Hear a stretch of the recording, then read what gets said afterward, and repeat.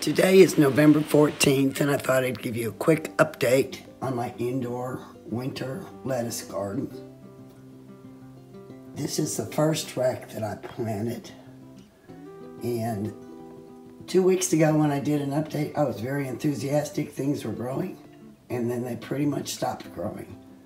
So I've been trying to do some investigation on it, Googled and Googled and Googled, and identified it. Best way to see it is on this plant here. This is the salad bowl lettuce. And if you look closely, the tips of the leaves are brown. Different causes of it end up in the result of possibly I'm giving it too much light. When I posted my last video, I stated that on these racks, I have three lights. On the new rack, I have two lights. And the rack with the two lights is doing much better. I'll show you that now.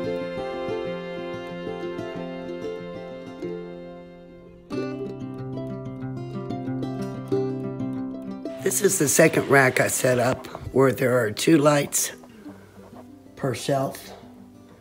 As you can see, the growth is great on these. On the second shelf down is where I planted seeds. I have the lettuce seeds, which were older seeds, and they've not done too well. The dwarf blue scotch kale is doing quite well. And the dwarf scotch curled kale is doing well. Another thing that I've since added are some microgreens. These are Grand Rapids leaf lettuce, but if you look closely, there's something else, a darker leaf, that's coming up in amongst the leaf lettuce. When it gets a little bit bigger, I'll be pulling those out to taste them and see if I can tell what they are.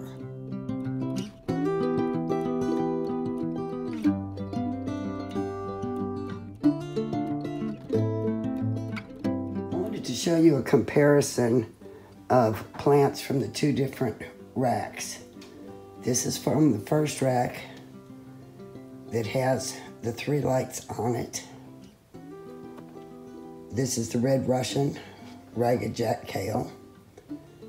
This is from the second rack that has two lights per shelf on it. Same type of kale. You can see the difference in the height and the difference in the size of the leaves. The second rack is doing much, much better.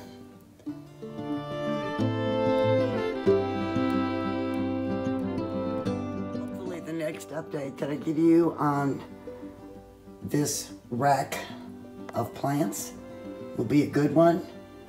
I'm going to change things up. I'm going to reduce the three lights up here to two lights and see if that does make a difference.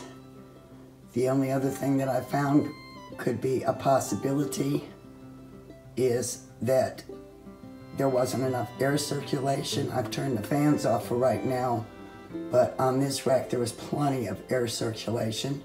On the second rack, there's been no air circulation because I didn't have any fans for it. So I will give y'all an update in a couple weeks hopefully the growth starts out on this and it gets big enough to eat.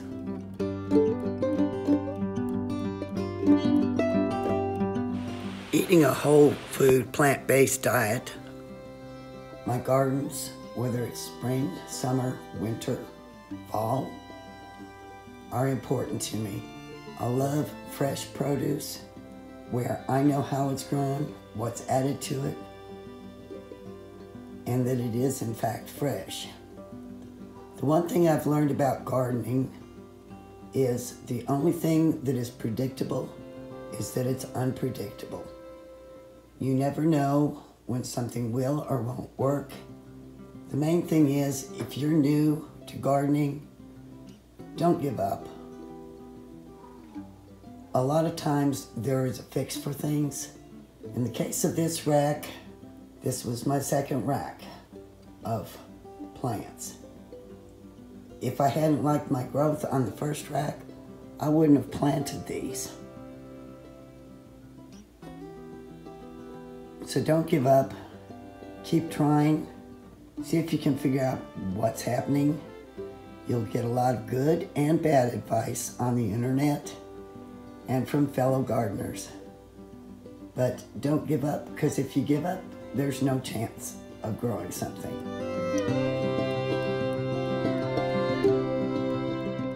I want to thank y'all for watching my videos. Please give me a thumbs up. If you have any questions, post them in the comments below. If you subscribe to the channel, I'd appreciate that. And if you hit the bell, you'll be notified when the new videos come up and you'll know when I give an update on this, my possible epic fail first attempt at an indoor lettuce garden.